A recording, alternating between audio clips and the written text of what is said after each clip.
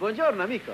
Vieni, ti dico subito qual è il lavoro. Quello che mi serve più che altro è una mano nel locale. Vede, al momento ho dei disturbi che mi impediscono di lavorare. Sembra in salute.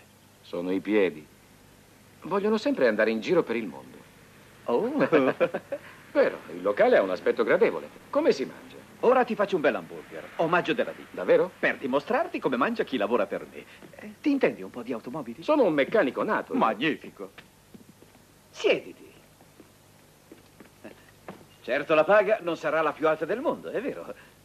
Ma qui non hai spese. Mangiare e dormire te li passo io.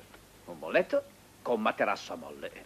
Aria fresca, luce del sole, una vita da gran signore.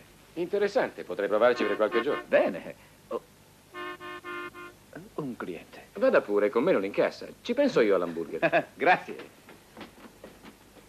Non te ne andare, eh?